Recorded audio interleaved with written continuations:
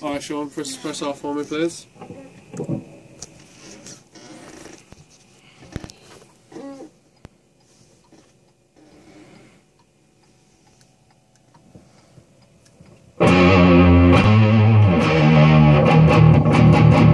please.